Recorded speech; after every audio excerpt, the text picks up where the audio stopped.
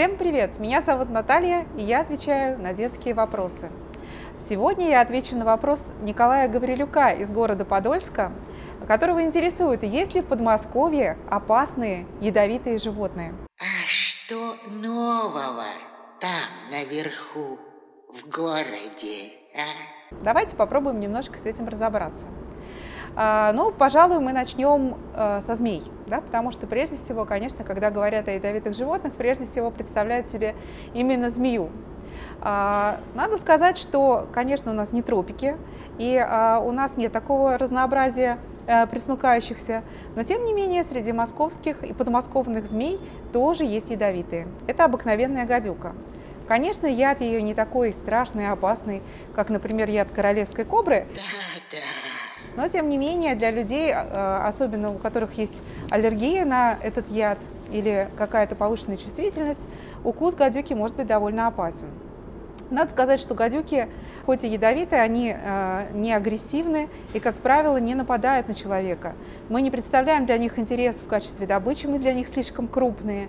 Поэтому, если вы не наступите на змею или не попытаетесь схватить ее руками, скорее всего, змея не проявит вам никакого интереса. Э, в случае, если вы оказываетесь рядом, то змея, как правило, попытается скрыться.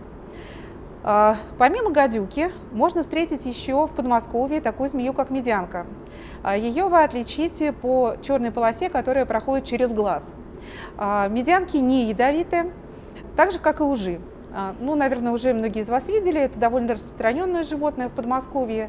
А, и а, ужа вы хорошо можете узнать по желтым пятнам, которые расположены по бокам головы. Итак, из змей, пожалуй, ядовит у нас только гадюка. Что касается других животных, пауки – на самом деле в той или иной степени ядовиты все пауки. Но проблема в том, что у наших э, подмосковных пауков, как правило, слишком слабые челюсти, и они не могут прокусить кожу человека. Э, есть, правда, паук-крестовик, а, он способен а, прокусить кожу человека, но а, яда не настолько много, чтобы причинить серьезный вред здоровью. То есть укус крестовика болезненный, место укуса может распухнуть и зудеть, но вряд ли это окажет какое-то серьезное влияние на ваше здоровье. В последнее время отмечены случаи, когда в Подмосковье встречается паук из более южных регионов, он называется каракурт, его легко узнать. Он, как правило, или такой истинно черный, или черный с красными пятнами на брюшке. Так вот, укусы этого паука действительно могут быть довольно опасны. И э, если такое случилось, то обязательно нужно как можно быстрее обратиться за помощью э, к врачу. Насекомые. Э, среди насекомых тоже немало опасностей. А, все мы знаем хорошо, что есть жалящие насекомые, ну, например, такие как пчелы и осы. А, да, их я для человека, как правило, не смертелен. А, он опасен лишь в том случае, если либо укусов сразу было одновременно много, либо если у человека есть аллергическая реакция. Особенно в этом случае опасны укусы, например, в области рта, а, и поэтому, если вы едите что-то сладкое, внимательно посмотрите, что вы засовываете в рот, потому что если случайно вдруг окажется, что на а, сладком персике или а, клубнике сидит оса или пчела, э, и вы ее случайно съедите, то это, в общем, может быть для вас довольно опасно. Э, Еще более болезненные укусы шершней. Э, по типу яда шершни и осы очень похожи, э, просто шершни более крупные, их укусы болезненные и тоже опасны лишь в том случае, если это сразу несколько укусов человек получил за короткое время.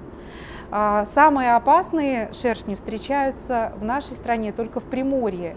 Это крупные гигантские азиатские шершни, которые действительно очень опасны, и э, человек может даже погибнуть от их укуса. Амфибии. А, все знают, что в тропиках живут очень красивые, восхитительные лягушки-треволазы, которые обладают довольно сильным ядом. А что же наши амфибии, насколько они опасны? На самом деле, а, если вы э, когда-нибудь видели близ, вблизи лягушку или держали ее в руках, вы видели, что кожа ее влажная всегда, поскольку амфибии через кожу дышат и поэтому кожа должна быть влажной. У всех амфибий в коже есть ядовитые железы, и это необходимая защита, прежде всего от бактерий и грибков, чтобы они не а, размножались на коже э, этих животных. А, но помимо этого, конечно, еще ядовитые железы защищают и от врагов. А, если говорить о лягушках, то э, их яд не опасен.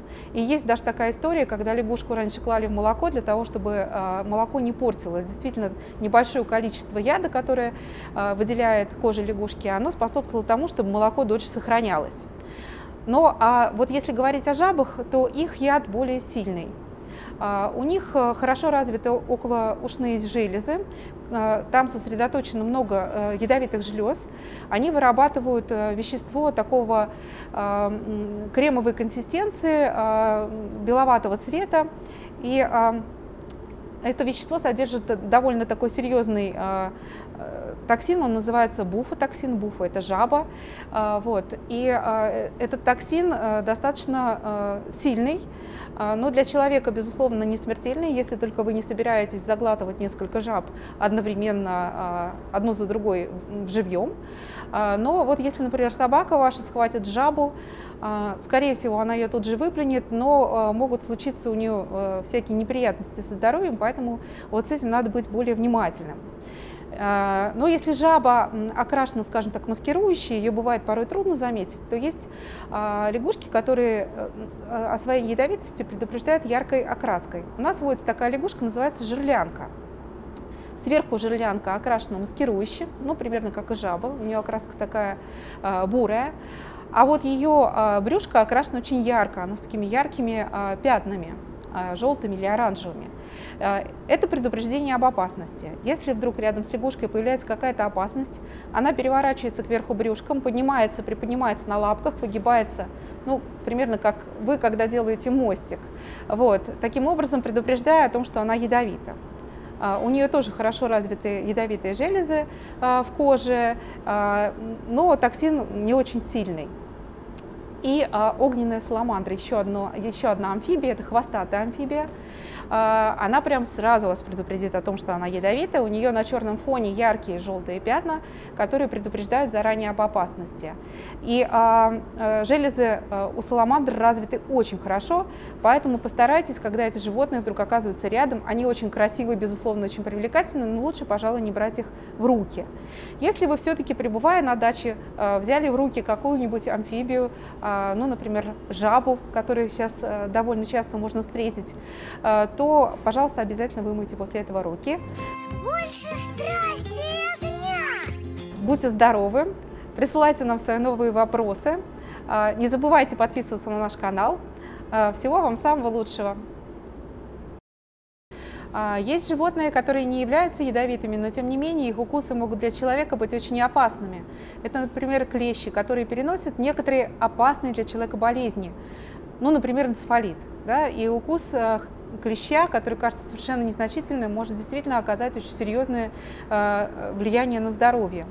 Э, поэтому в случае, если вы оказались в лесу и э, погуляли где-нибудь на природе, потом вернулись домой, обязательно внимательно осмотрите себя, нет ли у вас укусов клещей.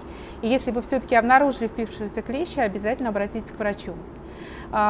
Комары переносят иногда некоторые болезни, может быть, не столь опасные, как энцефалит, но тем не менее тоже а, э, к этому надо относиться э, всерьез, особенно в том случае, если места укусов э, у вас сильно опухли и воспалились.